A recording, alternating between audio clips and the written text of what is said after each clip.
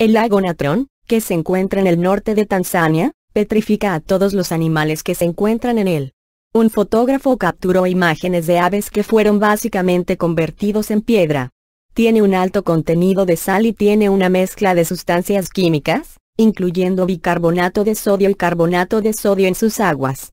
Los peces solo pueden sobrevivir a lo largo de los bordes del lago. El fotógrafo Nick Brandt explicó.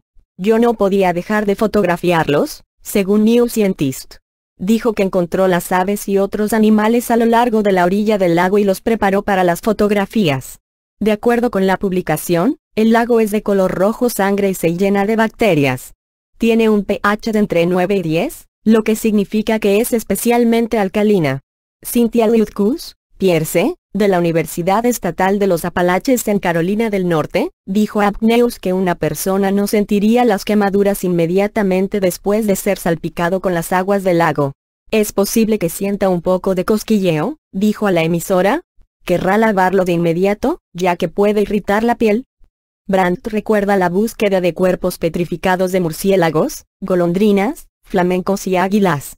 Me encontré inesperadamente con estas criaturas, todo tipo de aves y murciélagos, a lo largo de la costa del lago Natron en el norte de Tanzania, declaró Brandt a NBC News.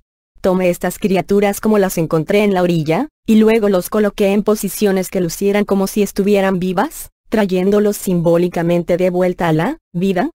El lago es un lugar popular para visitar, dijo Liutkus, Pierce. Mucha gente viene a ver los flamencos. ¿Es un atractivo turístico? Indicó.